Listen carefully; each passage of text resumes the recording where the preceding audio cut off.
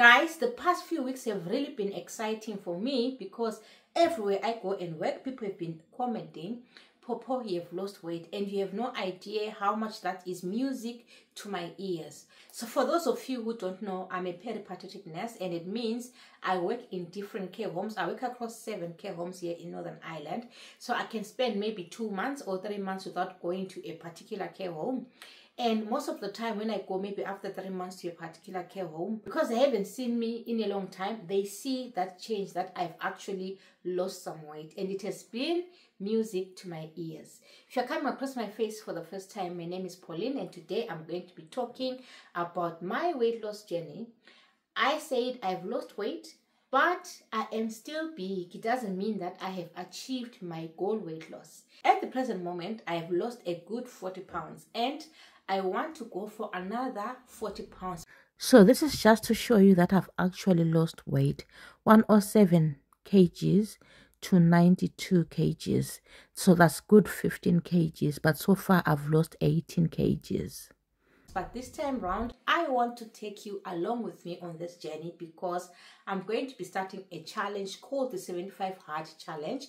And on that 75 Hard challenge is only for 75 days. And on those 75 days, I'm going to be posting on a daily basis what I've done for the day. I'm going to talk about the challenge later in the video. And for those of you who want to join me on this challenge, you're very much welcome. It's only 75 days, but I tell you, those 75 days will change your mindset for life.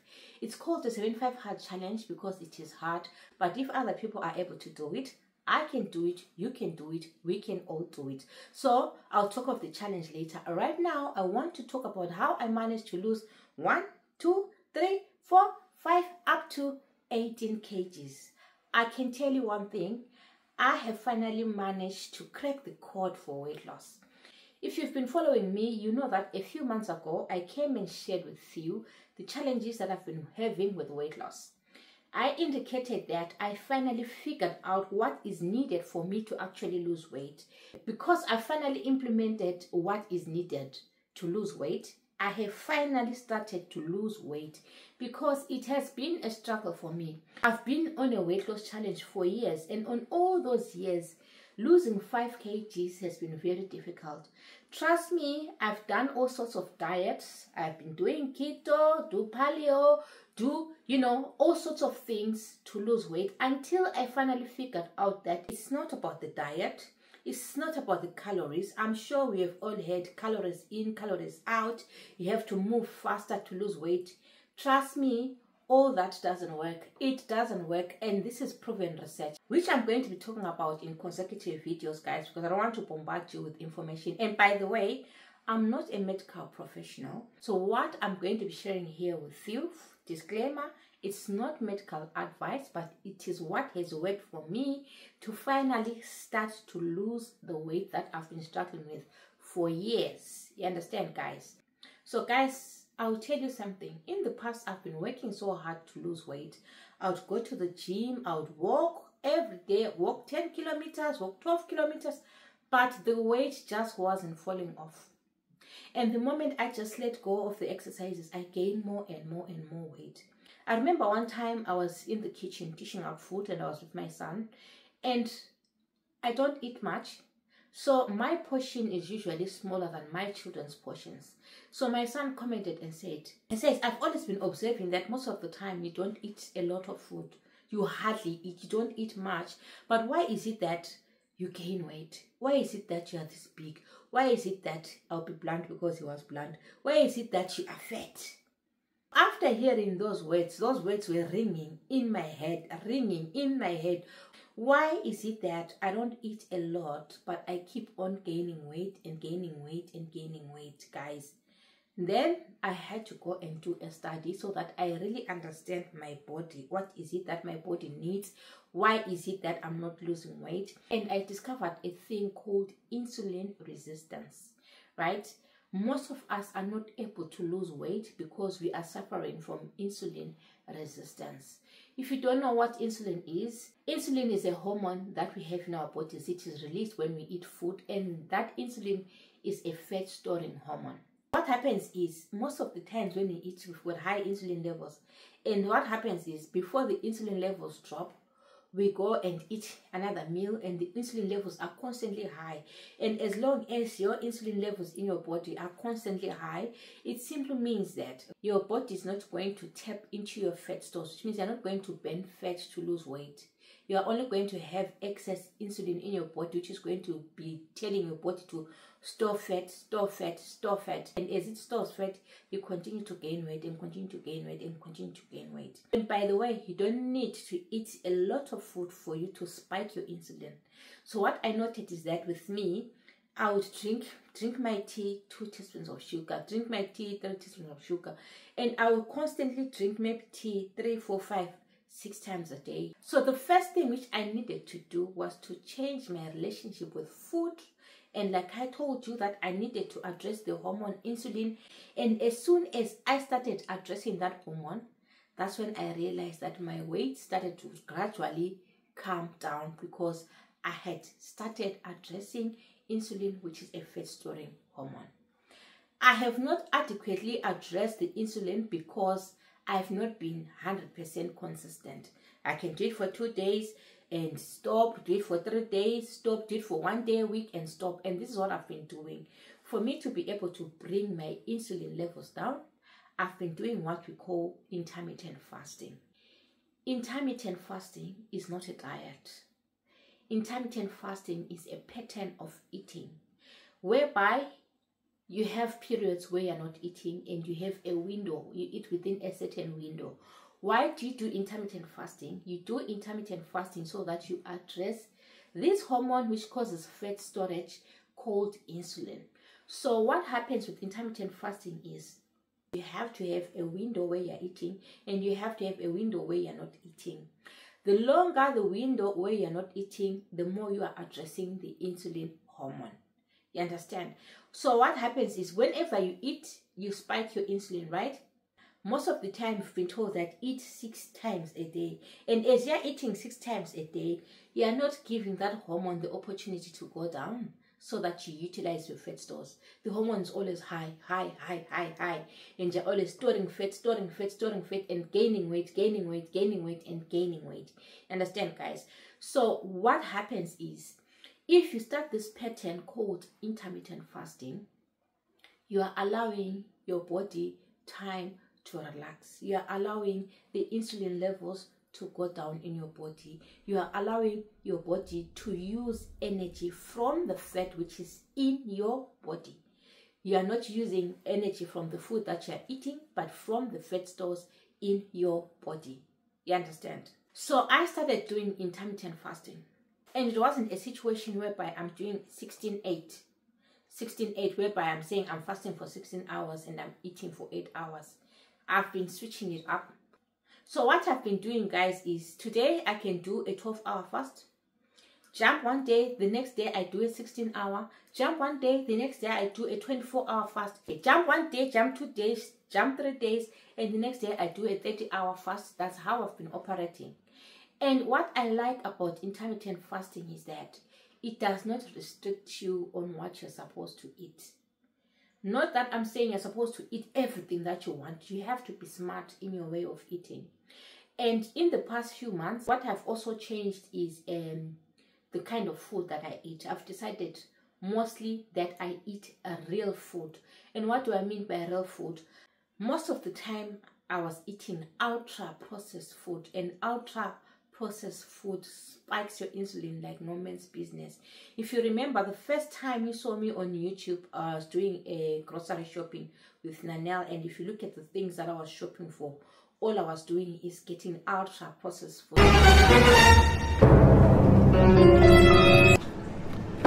Are you serious? I thought. no, most of the time I was eating ultra processed food, which was not good for me.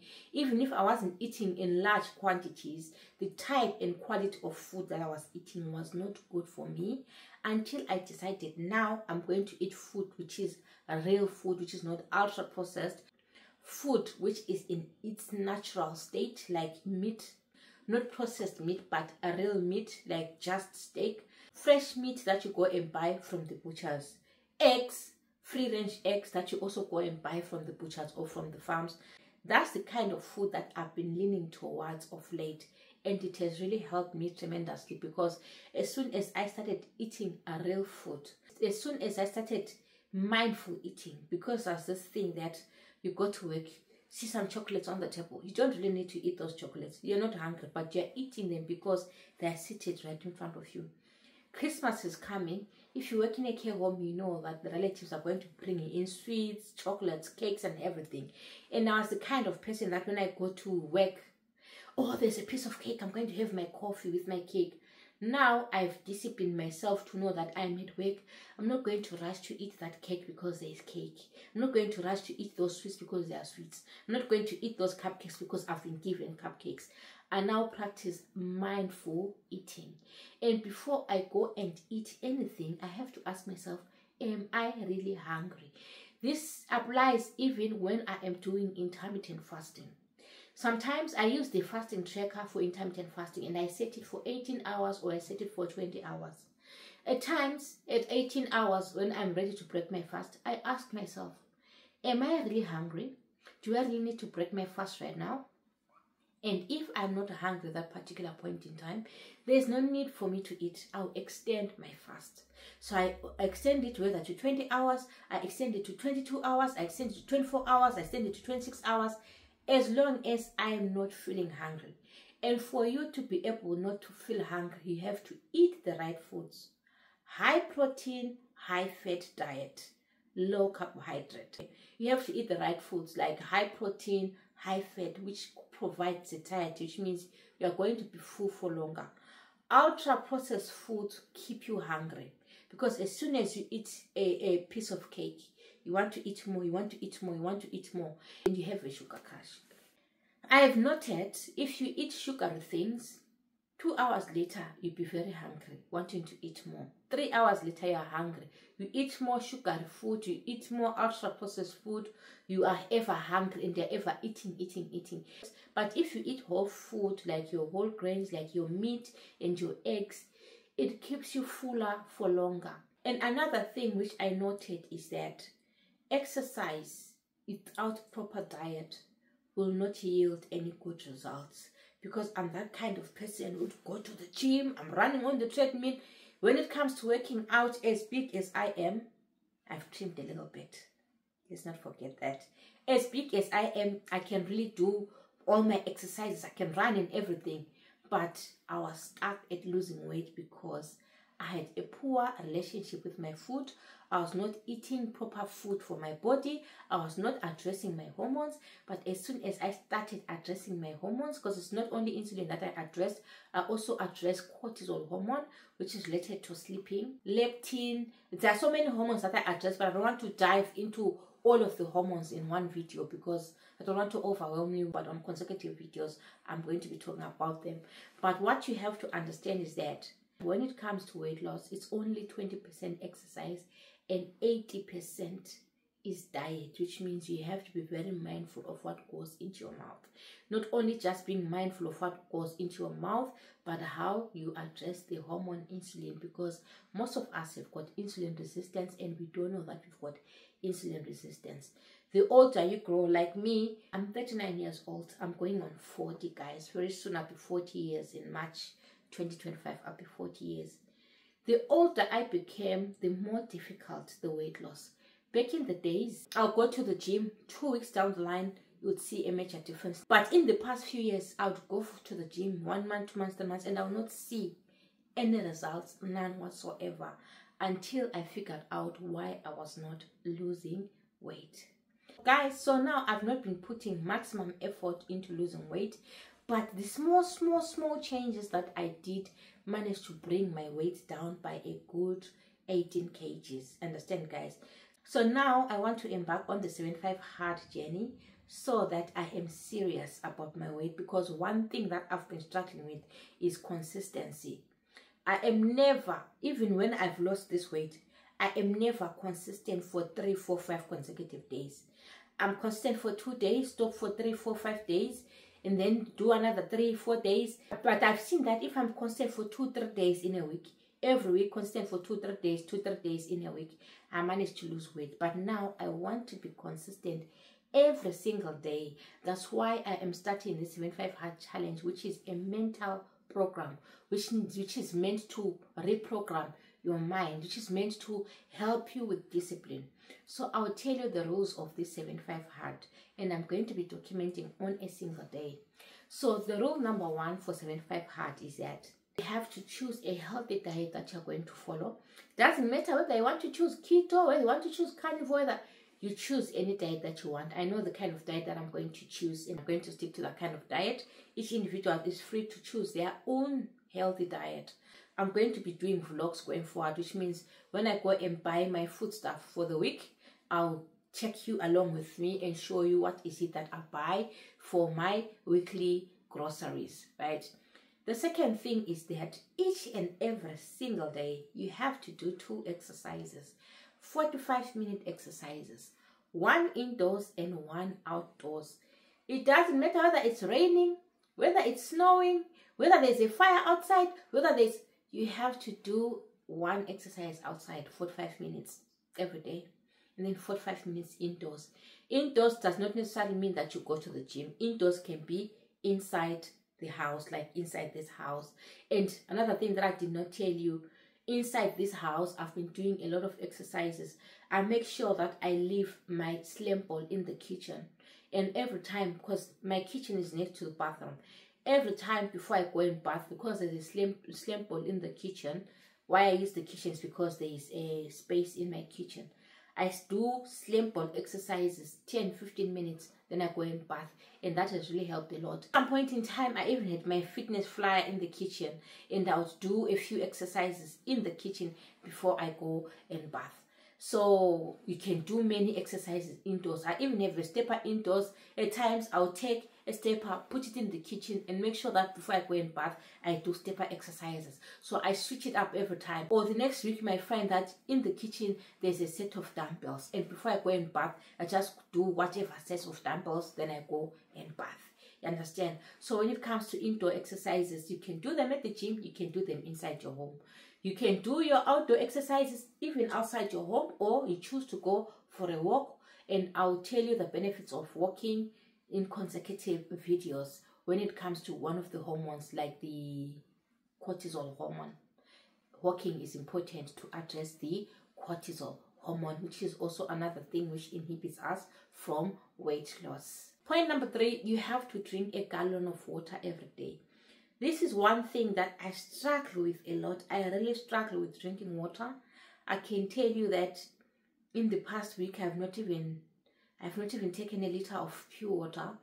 Like the past three days I only had a, a glass of water, just one glass of water. I'll drink anything else. I'll drink Coke Zero, I'll drink, but I don't drink water.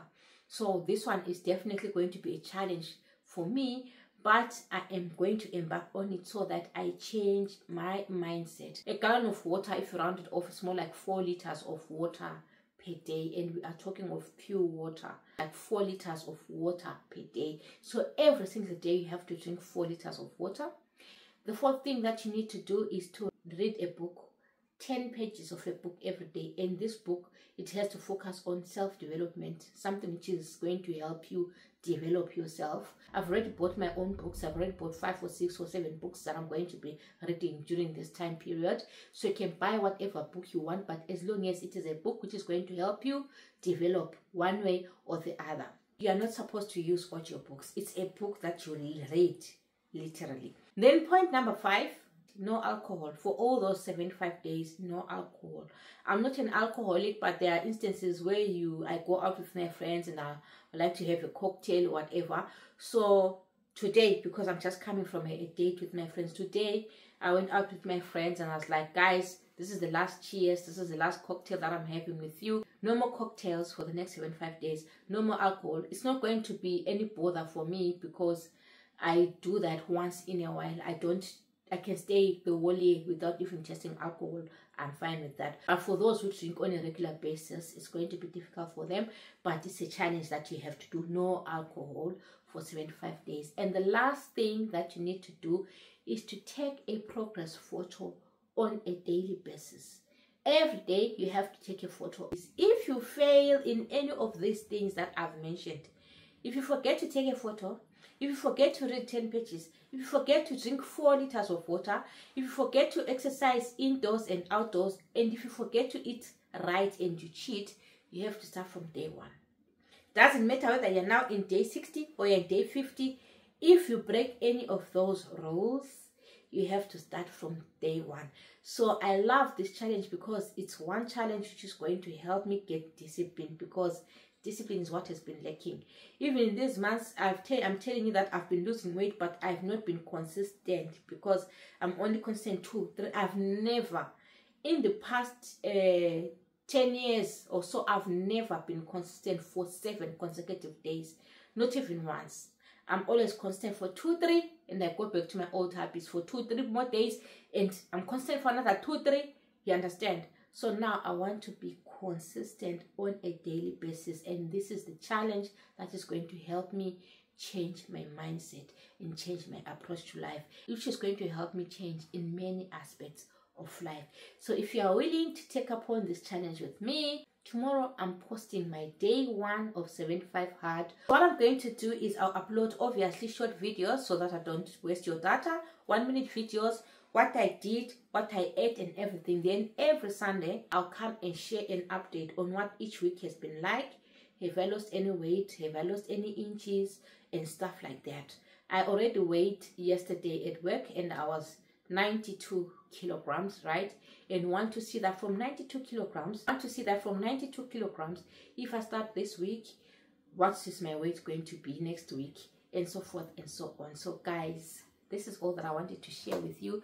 Do join me on this challenge. And if you haven't subscribed to my channel, do subscribe to my channel and turn on the notification bell so that you never miss any of my videos. And if you've got any questions, do drop them in the comment section. I know I did not cover everything that I needed to cover, but as we go along, I will be sharing with you everything. Since this is a journey, I'm going to be sharing with you more and more information as you go along. So subscribe to my channel, guys, and turn on the notification bell so that you never miss any of my videos. Thank you so much for watching, guys. I'll see you in my next video.